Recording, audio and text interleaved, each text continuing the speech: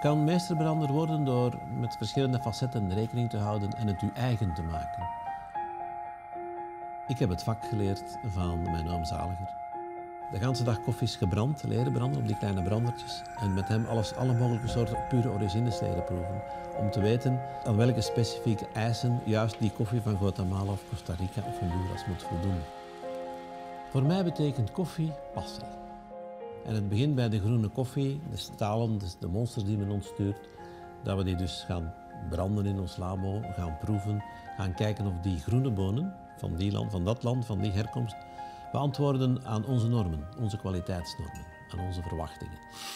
Zijn die goed, dan kunnen we die groene bonen kopen. Maar dan komen die pas binnen drie, vier maanden binnen. Dan gaan we die koffie gaan afhalen in de havens. Worden die hier weer al getest, weer al nagekeken. En gaan we de koffies gaan kijken in de blends, in de mengelingen die we nu hebben. Als de koffie erin past, gaan we wel gaan branden. En gaan we ervoor zorgen dat die branding is gelijk ze moet zijn. Rustig aan, ambachtelijk. Koffie is en blijft een natuurproduct en tijd en temperatuur zijn twee belangrijke fenomenen om tot een zo goed mogelijk resultaat te komen.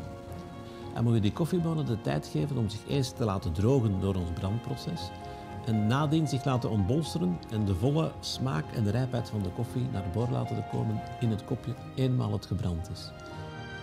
De eerste zes minuten moet je langzaam de koffie uh, drogen, want er zit vrij veel in de koffie. Dus tijd is belangrijk, rustig aan, maar ook de temperatuur niet te fel opjagen op korte tijd. Tussen de minuut 6 en 12 komt de koffie, wordt die langzaam ontbolsterd, gaat die langzaam bruiner worden, karamelliseren en komt de typische smaak van koffie, maar ook de rook stilaan naar boven. En door op een ambachtelijke wijze koffie te branden, met respect voor het product zelf, komen we tot het beste resultaat. Het bijzondere aan de samenwerking met Sligro is dat ook Sligro geïnvesteerd heeft in ambacht en een speciale locatie verzorgd heeft en aan het verzorgen is in de meeste Sligro grotere vestigingen. Met een klein koffiebrandertje, met specialist, door hun en door ons hier opgeleid, om hun eindklanten te begeleiden naar wat is de betere koffie of de beste koffie voor mijn horecazaak. En die mensen begeleiden hun en laten hun ook koffie proeven.